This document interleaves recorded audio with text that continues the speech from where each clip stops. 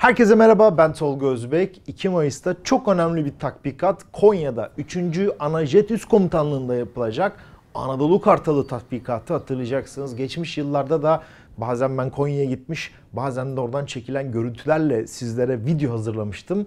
Bu yıl yapılacak ilk uluslararası katılımlı Anadolu Kartalı tatbikatının gerçekten çok ilginç ülkelerin hava kuvvetleri geliyor. Türkiye'nin uzun yıllardır aralığının bozuk olduğu Suudi Arabistan, Birleşik Arap Emirlikleri Hava Kuvvetleri geliyor. Bunun yanı sıra İngiltere Kraliyet Hava Kuvvetleri e, ile Konya'da yer alacak. Pakistan, Katar ve tabii ki kardeş ülke Azerbaycan'da bu tatbikatın katılımcıları arasında. Peki neden böyle bir katılım var? Bu tatbikatın ana konuları neler ve nasıl bir eğitim sürecinden geçiliyor?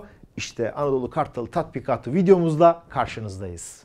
Dünyanın durumu malum her tarafta bir karışıklık söz konusu. Hemen kuzeyimizde Ukrayna ve Rusya arasında birinci yılını geçmiş bir savaş var. Pasifik'te sular kaynıyor. Bir taraftan artan gerilim var ve bu gerilimlere veya savaş risklerine karşı da her an hazırlıklı olmak durumunda. Özellikle de hava kuvvetleri açısından yapılan tatbikatlar büyük önem arz ediyor. Bazen işte kuvvet kendi arasında bir tatbikat yapıyor veya diğer kuvvet unsurlarıyla işte hava, deniz, kara beraber bir operasyon gerçekleştiriliyor ama birçok dünyadaki savaş için uluslararası işbirlikleri büyük önem taşıyor. İşte NATO kendi arasında yapıyor, başka ülkeleri çağırıyor ve herkes bu ortak operasyon için hem birbirini anlamak, bu konudaki iletişim bozukluklarını gidermek, aynı zamanda da eğitim standartlarını yükseltmek tatbikatların ana amacı. Konya'da çok uzun yıllardır Türk Hava Kuvvetleri'nin ev sahipliğiyle Anadolu Kartalı tatbikatı gerçekleştiriliyor. Anadolu Kartalı'nda da e, bir atılan artık son yıllarda bir mühimmat yok ama bu mühimmat yerine elektronik olarak bu savaş simülasyonlarla farklı farklı e, senaryolar üzerinden gerçekleştiriliyor ve yeni gelişen tehditler örneğin farklı bir silah diyelim ki düşmanın elinde veya potansiyel düşman ülkelerinin elinde var. Buna karşı ne yapılacak? Ne gibi adımlar atılacak? Sadece havada it dalaşı veya hava yer taarruzu değil. O ülkenin hava savunma sistemleri, radar sistemleri gibi farklı farklı durumlar simüle ediliyor. Bunun için de tabii ki yerde çok önemli bir yatırım ve bir sanal bir harekat merkeziniz var. İşte ne yapıyorsunuz? Örneğin atış sahanızda o düşman radarının frekansını simüle ediyorsunuz. Yerden havaya atılan, SAM olarak adlandırılan hava savunma füzelerinin radar frekanslarını veya o füzelerin özelliklerini simüle etmeye başlıyorsunuz. Çeşitli görevler oluşturuluyor. Bu görevlere farklı ülkelerin uçakları birlikte gidiyor veya e, bazen de bir düşman rolü oynamak yani kırmızı kuvvetler gerekiyor. Şimdi tatbikatlarda bir mavi kuvvetler vardır. DOS kuvvetler olarak adlandırılır. Bir de kırmızı kuvvetler vardır. Kırmızı kuvvetlerde düşman rolü oynar. Bu Konya'daki 3. Anajet Üst Komutanlığı'ndaki 132. E, filoda bu göreve odaklanmıştır.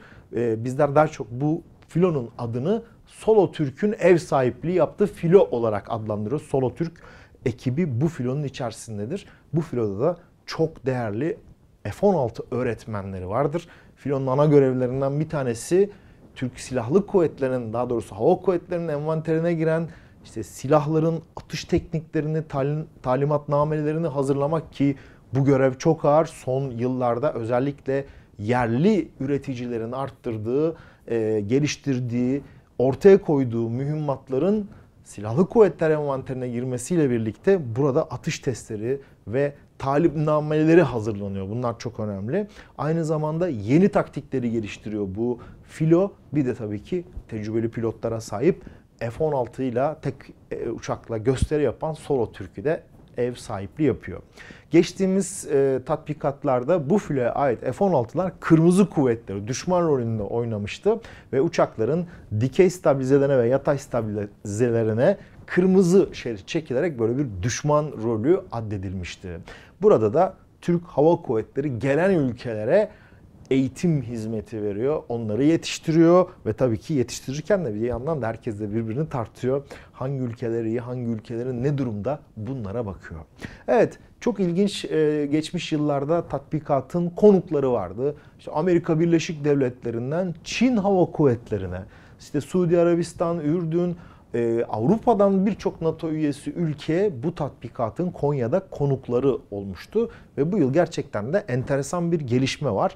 Ee, örnek olarak Türkiye'nin birkaç e, ay öncesine kadar ciddi diplomatik kriz yaşadı ve artık ilişkilerin normalleştiği örneğin Suudi Arabistan ki geçmişte çok geliyordu Suudi Arabistan bu e, tatbikata F-15 SA tipi SA olarak adlandırılan Boeing'in özel geliştirdiği F-15'leriyle bu tatbikata Suudi Arabistan Hava Kuvvetleri katılıyor. Suudi Arabistan en son bu Yemen Savaşı'nda taraflardan biriydi ve Yemen operasyonu ile birlikte e, orada en son e, gerçek savaş ortamında eğitimini gerçekleştirmişti. Bakalım Anadolu Kartalı'na gelecekler. Bir başka ülke Birleşik Arap Emirlikleri. Birleşik Arap Emirlikleri ile de Türkiye'nin arası son yıllara kadar çok iyi değildi. Tekrar ilişkilerin düzeyi arttırıldı, ilişkiler geliştirilmeye başlandı. Birleşik Arap Emirlikleri de hava kuvvetleri F-16 Blok 60 uçaklarını getirecek. Biliyorsunuz Blok 50'ler var bizde. Bir yandan da F-35'lerin parası yerine Blok 70 almaya çalışıyoruz. Blok 60 çok özel bir uçak. Birleşik Arap Emirlikleri ARGE e, maliyetlerini üstlenmiş ve Birleşik Arap Emirlikleri için geliştirilmiş gerçekten çok özel bir F-16. Bunları böyle bir kenara koymakta fayda var. Diğer taraftan e, artık tatbikatın son yıllarda e, en böyle gedikli sürekli katılımcılarından Katar Hava Kuvvetleri geliyor. Katar Hava Kuvvetleri de geçmiş tatbikatlara Dassault imalatı Fransız imalatçı Rafale savaş uçakları ile gelmişti. Hatta Yunanlılar ya biz de Rafale arıyoruz bak Türk Hava Kuvvetleri ne yapıyor onlarla eğitimini yaptı herhalde pilotlar. O uçağın eksik veya artılarını gördüler diye baya bir panik olmuşlardı. Bu sefer e, Katar Hava Kuvvetleri Eurofighter savaş uçakları getiriyor.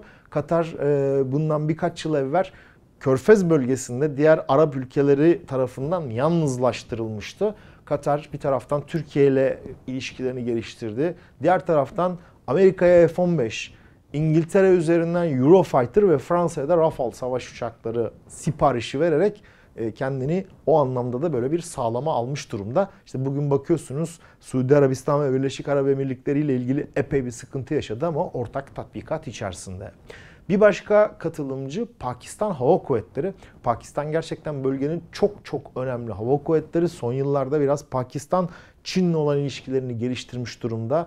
Ee, Çin'den örneğin J-10 tipi savaş uçağı alıyor. Bir taraftan Çin'le beraber geliştirdikleri JF-17 Thunder'ları var.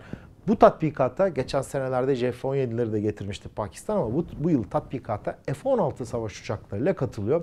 Onlar da önemli. Ve tabii ki Azerbaycan'ın yeri çok ayrı.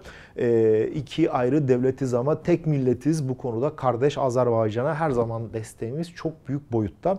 Azerbaycan bu yıl Anadolu Kartalı tatbikatına Su-25 savaş uçaklarını getiriyor. Su-25'ler Azerbaycan Hava Kuvvetleri'nin en son Karabağ Savaşı'nda hava yer operasyonunda yakın hava desteğinde kullandığı çok çok önemli bir uçak. Onlar da bu tatbikatta ağırlıklı olarak hava yer operasyonunun simülasyonunu gerçekleştirecekler. Bir yandan da e, görüyorsunuz son dönemdeki gelişmelerde özellikle Karabağ tekrar geri kazanılmasıyla birlikte Azerbaycan bölgede ağırlığını koydu ama bir taraftan er, e, Ermenistan ve artan İran ilişkileriyle birlikte bir taraftan İran kaşımaya çalışıyor. İşte Ermenistan'da zaman zaman sınır ihlalleri yaparak orada da çok sıcak bir gelişme söz konusu. Bu açıdan da Azerbaycan kuvvetlerini diri tutmak, bu eğitimleri sürdürmek açısından da Konya'ya gelmiş durumda. Evet çok heyecanlı bir tatbikat olacak. 2 Mayıs'ta başlıyor. 12 Mayıs'a kadar devam edecek. Ara süreç içerisinde bu tatbikatta e, bir e, havacılık fotoğrafçılığı günü Spotter Day olarak adlandırılıyor. Onlar için de kapılarını açacak.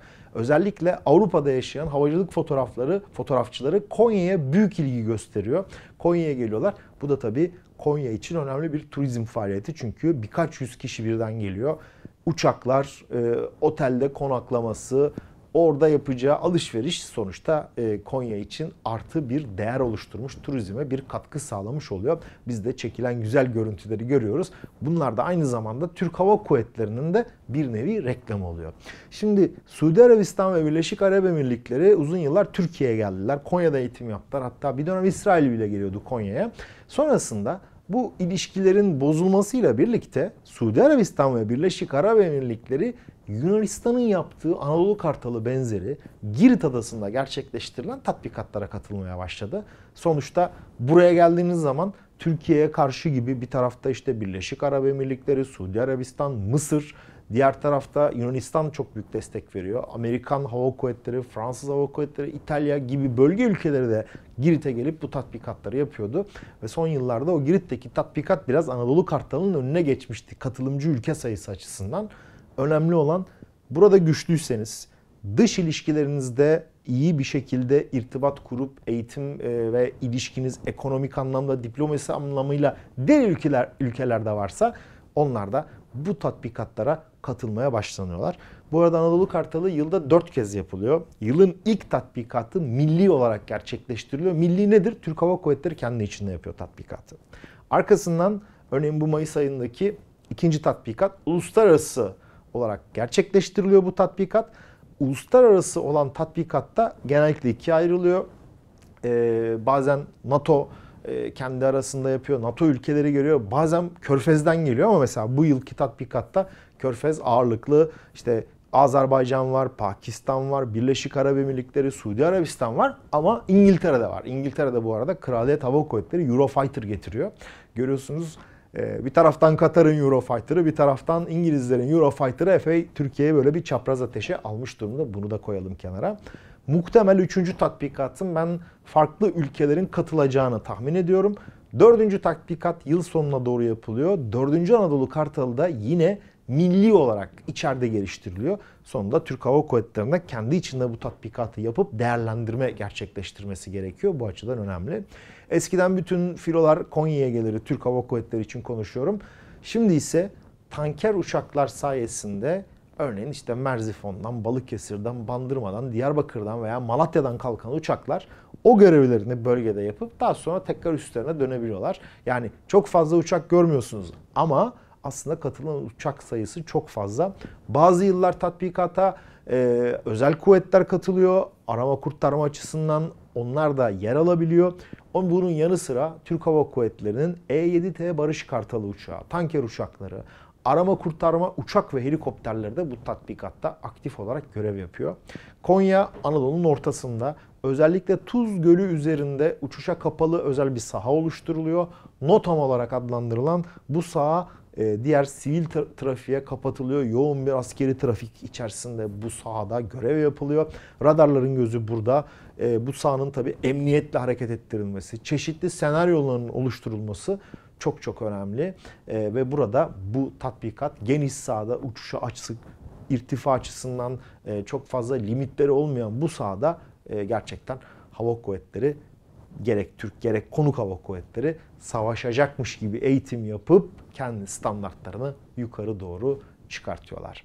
Evet ilginç bir Anadolu Kartalı tatbikatını önümüzdeki günlerde izleyeceğiz. Bakalım gelişmeler neler olacak ben de açıkçası merakla takip ediyorum. Ama detaylar hem bizim kanalımızda olacak hem de tolgozbek.com web sitemizde olacak. Bizleri sosyal medyadan da takip edebilirsiniz. Bu videoyu beğendiyseniz beğen tuşuna basın. Yorumlarınızı eksik etmeyin. Ne kadar çok kişi beğenirse, yorum yazarsa kanalımız daha izlenirliği ön plana doğru çıkıyor. Bu videolar daha çok merakların önüne düşmeye başlıyor. Bir sonraki videoda görüşmek üzere. Herkese sağlıklı ve mutlu günler diliyorum.